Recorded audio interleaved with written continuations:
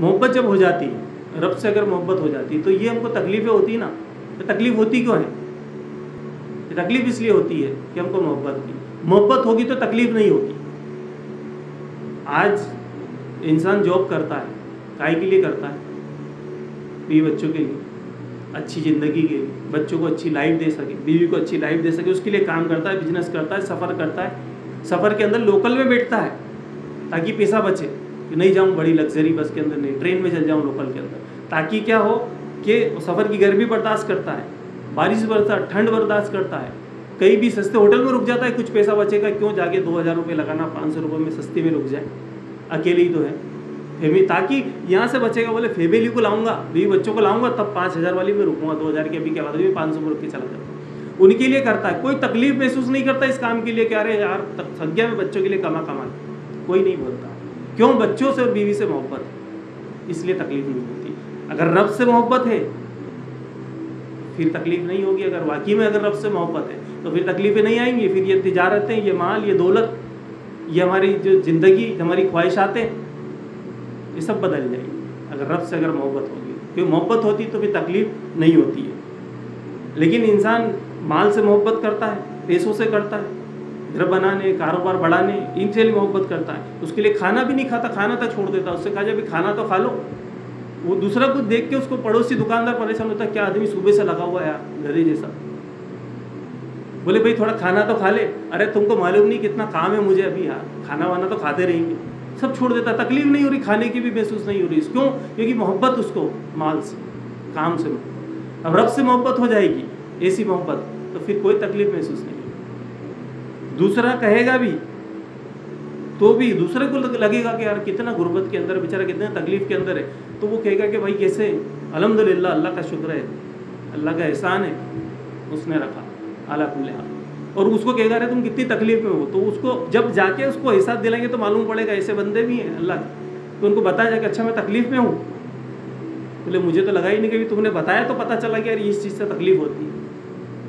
उनको कोई तकलीफ़ नहीं होती, जो अल्लाह से मोहब्बत रखते हैं। जो ताल्लुकात रखते हैं अल्लाह से, उससे मुलाकात करते हैं, उनके लिए ये चीज़ें नहीं होती हैं। तो ये हमको जो मुस्तबिल की फ़िक्र के अंदर हम सब तकलीफ़, सब परेशानी सबको भूल जाते हैं और उसके अंदर लग जाते हैं, कोई तकलीफ़ महसूस नहीं करते हैं। ये, अब खातन का भी मामला ऐसा ही खातन भी जो है, मोहब्बत के अंदर, बच्चों से मोहब्बत है उसको, बच्चों की फ़िक्र है, उसकी जो है पढ़ाई की फ़िक्र है, इसलिए वो सुबह सुबह उठ जाएँगी। बच्चों को नहलाना, धुलाना टिफ़िन बनाना, तैयार करना, उसको भेजना, फिर शोर जाग रहे, फिर उनका नाश्ता, फिर उनका खाना, फिर दूसरा बड़ा बच्चा, वो कॉलेज जाना, उसके लिए तैयार करना, कोई तकलीफ़ नहीं। किचन के अंदर उसको गर्मी के अंदर पूरी वो, गर्मी के अंदर सारी सारी गर्मी के अंदर जो है, उसके अंदर उसको कोई पसीना हो रहा है, लेकिन उससे कोई तकलीफ़ महसूस नहीं हो रही। क्यों? क्योंकि मोहब्बत है उससे घर वालों से, सबसे मोहब्बत करती है। तो नहीं, लेकिन रब से मोहब्बत है तो फिर ये जो आजमाइश आती है रब की तरफ़ से, जो परेशान परेशानी और तकलीफ़ आती है, या फिर उसकी इबादत में लगने से जो हमको लग रहा है कि जो तकलीफ़ महसूस हो रही है, ये लग रहा है कि कस्टमर चला जाएगा तो जब उससे मोहब्बत हो जाएगी तो फिर ये हमको तकलीफ़ें, परेशानियाँ महसूस नहीं होगी, कोई नुकसान नुकसान नहीं लगेगा, जब उससे मोहब्बत हो जाएगी। लोगों को लगेगा तकलीफ़ में है, लेकिन हमें तकलीफ़ महसूस नहीं होगी।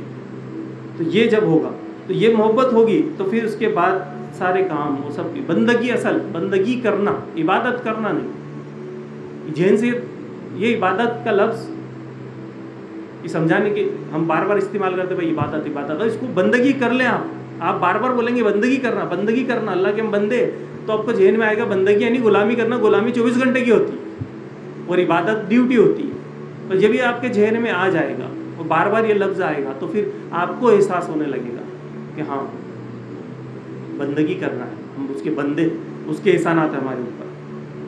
तो उसके बाद में फिर जो है, फिर उसके बाद ये सब करेंगे तो फिर कोई तकलीफ़ महसूस नहीं होगी। उसकी जो चाहे उसने हुक्म दिया है, उसकी जो भी शरीयत काम है, जो बताया है उसने, उसमें कोई तकलीफ़ उनको महसूस नहीं होगी। तो खातन को जो शरीर एकाम दिए हैं, इसके अंदर कोई परेशानी होती है? ऐसा नहीं कि नहीं होती है भाई, जानते हैं। इतनी गर्मी है, उसके अंदर एक बुरका, वो भी फिर ब्लैक कलर का, जो पूरा जो है गर्मी को एब्जॉर्व कर लेता है। तो उसके अंदर वो निकलने में सोचती कि क्या करूँ इतनी गर्मी में निकलने के लिए? वो कहती कि क्या इतनी गर्मी के अंदर कैसे जाऊँ? एक वाइट होना तो चलो वो रिफ्लेक्ट करता है, गर्मी को हटाता है। लेकिन ब्लैक वो पूरा गर्मी अंदर ले लेता है। लेकिन अगर ये रब से मोहब्बत है कि मेरे रब ने हुक्म दिया है कि मुझे ब्याही नहीं करना तो फिर उसको इस गर्मी के अंदर भी तकलीफ़ महसूस नहीं जब अल्लाह से मोहब्बत हो अल्लाह से मोहब्बत होगी तो फिर उसको वो जैसे वो किचन की गर्मी बर्दाश्त कर जाती है, वैसी वो ये गर्मी बर्दाश्त करते हैं अगर रब से मोहब्बत है। तो तकलीफ़ नहीं होगी अगर जो जिनको मोहब्बत होगी रब से। तो फिर एकामात में और जो ये करने में। हाँ जो ड्यूटी समझते हैं इसको, दीन को, इस्लाम को जो ड्यूटी समझता है तो उसको तो फिर तकलीफ़ होने वाली तो रब से रबता कायम करें। एक होता है रबता, एक होता है जबता। तो ये ज़रूरी है कि रास्ते में रूल नहीं देखता जाब्ते में रूल देखा जाता रास्ते के अंदर नहीं होता। तो ये है कि उसकी रज़ा क्या है? अल्लाह की रज़ा क्या है? तो मोहब्बत के तकाजे क्या है कि वो जो चाहता है, उसके हुक्म को पूरा करेंगे। हर हुक्म को पूरा करेंगे मोहब्बत के तकाजे।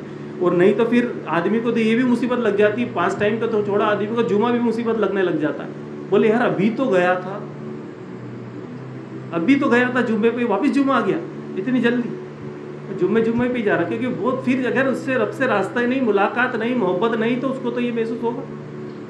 आठ दिन में आ रहा है जुम्मा, और उसको लग रहा है कि तो अभी गया था, वापिस आ गया, क्योंकि रब से मोहब्बत नहीं है।